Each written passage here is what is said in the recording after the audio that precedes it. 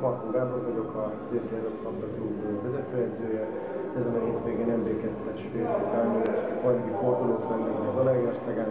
Négy csapat részvételével, Somoglyán, Szeged és a Kecskemét így csapata vesz részt A Somogyát meccsen vagyunk túl, 3-0 arányban sikerült megnyernünk, remek csapatjátékkal, minden egyes pályájátékos kiemelkedőt nyújtott, és gyakorlatilag nagyon vártunk erre a sikerre, és